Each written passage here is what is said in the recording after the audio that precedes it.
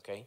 Uh, of course, uh, I'll tell you two things. One is not a secret, and the second one is a secret.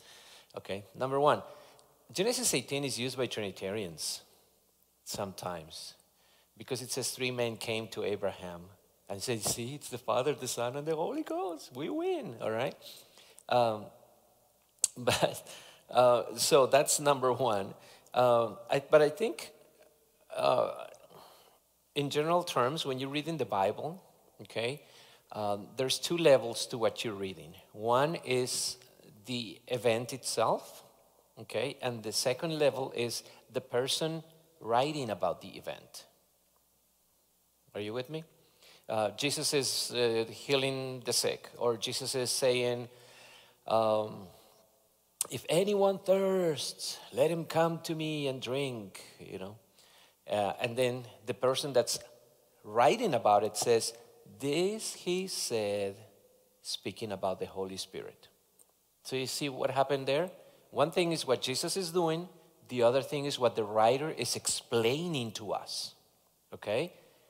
And of course, both are inspired equally by God. Whoever wrote, in this case, the, the Gospel of John, is inspired of the Holy Spirit to tell us that when Jesus talked about, if anyone is thirsty, come to me and I will give them to drink.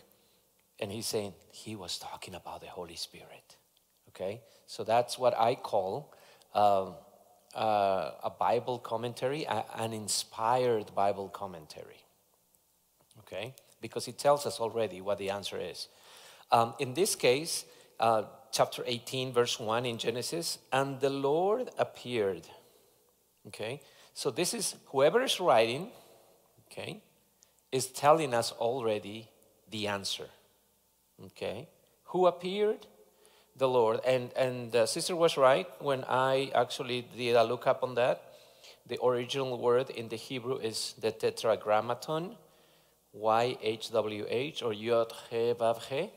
Uh, so it's the holy name of God.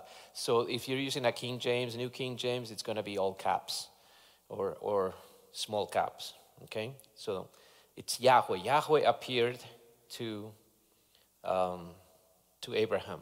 Uh, I think what gives us a little bit of pause is uh, it's three men, okay? So if it's only one God, why is three men? But then when you go to verse 16, it tells you that the men set out from there uh, and they looked uh, down towards Sodom. Okay. Uh, let me see.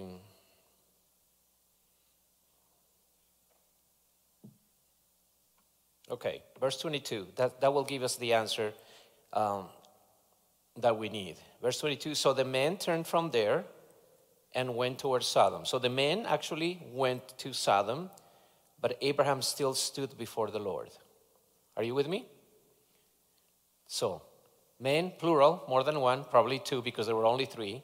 So, two went to Sodom, one stayed with Abraham. Who is that one? Abraham still stood before the Lord. All right? And that Lord, again, it's probably going to be Yod He Vav He, Y, y, A, um, YHWH. So that's the answer, okay? The text itself is telling us what's going on. Yes, the Lord appeared to Abraham, but he came with two angels. Then the angels went to Sodom, and Abraham stood, stayed behind with the Lord. All right? And that's why from there on, this, these men, uh, they act like angels. They do angel, angel things. They're messengers of God. You know, the Lord is going to destroy the city. Leave the city. And so they're talking on behalf of the Lord.